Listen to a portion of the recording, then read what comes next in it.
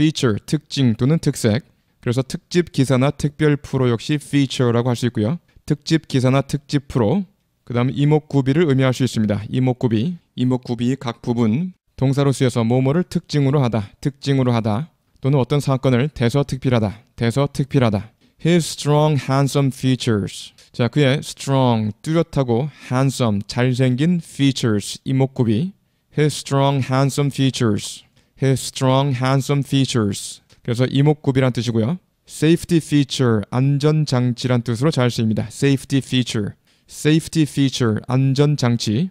그 다음에 the building features a state-of-the-art security system. 그 건물은 a state-of-the-art, 최첨단 security system, 보안 장치를 특징으로 한다. 첨단 보안 시스템이 특징이다.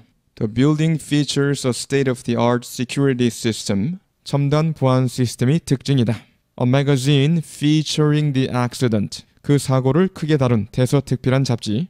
A magazine featuring the accident. A magazine featuring the accident.